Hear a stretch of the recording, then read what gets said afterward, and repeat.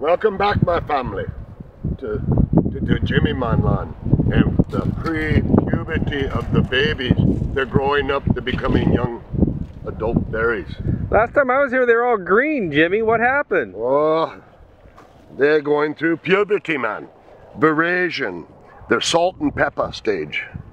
The the dark ones, maybe 10, 12 sugar. These, nothing.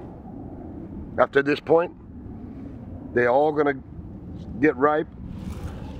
And down here is a bunch that maybe was two weeks later when the bloom.